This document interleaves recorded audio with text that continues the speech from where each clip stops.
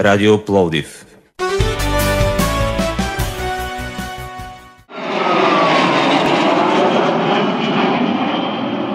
Авиобаза граф Игнатио с истински прочувствена и тържествена церемония бе почетен достолепен ветеран. Жива история на първите дни на съвременната ни бойна авиация от епохата на реактивните самолети.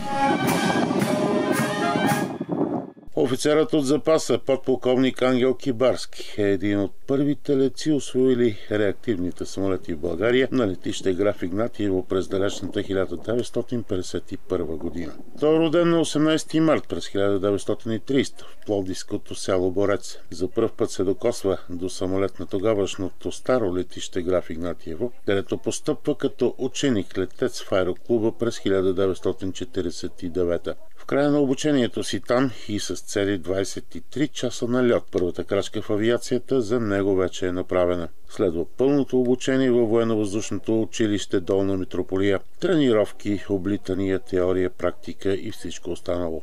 В живота на Ангел Кибарски настъпва първият важен момент. Избран е в малобройната група привилегировани български пилоти за обучение на реактивен самолет в тогавашния Съветски съюз. Започнали обучението си с минимален опит и на витлови самолети, българските леци уверено освояват реактивните изтребители Як-23 и МиГ-15. Завърнал се в края на 1951 година в България. Ангел Кибарски е сред петимата леци у нас поели първите бойни дежурства в небето с реактивни самолети от ново поколение.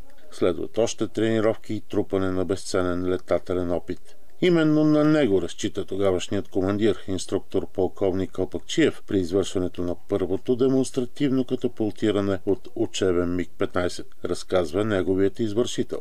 Не беше много трудно да се катапултира човек от МиГ-15, защото став... скоростите му бяха по-малки. Летяхме на по-малки скорости, около 600-700 км в час. Трудно беше за онези, които след това се катапултираха от свързвукови, на свързвукови скорости. То до тогава имаше много случаи, когато трябваше да се катапултират. Лиците обаче се страхуваха. Първо някой се страхува, че има патрон под него, има патрон, който всеки момент може да гръмне. Как ще лице, като под мен има зря, зрив. Други се, се изблъскваха в полета, други причини имаше, когато трябваше да се напусне самолета, но лесите искаха да спасяват или пък или да спасяват самолета, или пък да излезе от самолета без да се катапултира. Тая катапулта много плашеше хората. И загиваха, опитал се да излезе от кабината, без да се катапултира, въздушната струя го притиска, това е реактивен самолет на голяма скорост. И така се забива самолета в земята заедно с него. Имаше голям страх, имаше. Днес ветеранът споделих и допълнение към тази история. За второто си катапултиране вече не учебно и не тренировачно, а принудително след критична ситуация, която сам той определя като своя непростима грешка във въздуха. Катапултирането не ми се говори за него, защото по моя вина стана.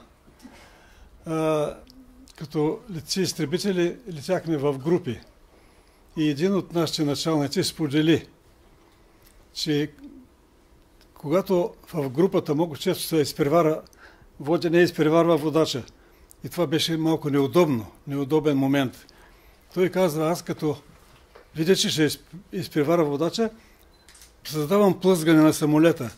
Наклон на едната страна и с педала натискам другата и създава неправилно обтичане самолета и бързо губи скорост.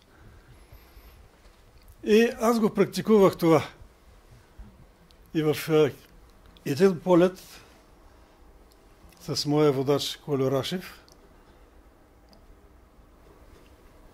точно така се получи, че в момента, когато го задминавах, направих същото, направи, но съм дал много силно кръкът, което е забранено. Не, не е допустимо от съгласно инструкцията за експлуатация за самолета. Това беше груба грешка.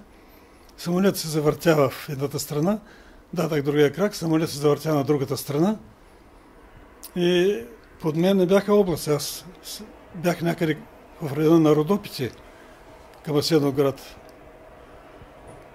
И в Средел не ми се влизаше в облаците. Реших, че самолета не може да бъде спасен. Реших, че трябва да, да го напусна, няма друго спасение. И хвърлих фанара на кабината, катапултирах се, отворих, макнах седал, коланите на седалката, освободих се, отворих парашута и увиснах на коланите с гузната съвест, че съм направил голяма беля. Така съм живял и до сега с това. Един, един самолет похабих поради нарушение на техниката на пилотиране. Наскоро след това тези самолети бяха бракувани, понеже дойдоха по, по-големи, по-хубави самолети, но все пак на нас не беше мило за тези самолети да ги, да ги оставяме на произвола на земното привличане, да се добрят до земята. Така че има едно излитане повече от касанията. За срещата с 91 годишният ветеран в авиобаза Граф Игнатиево пристигнаха висши офицери, както и командващият военно-въздушните сили на България генерал-майор Димитър Петров.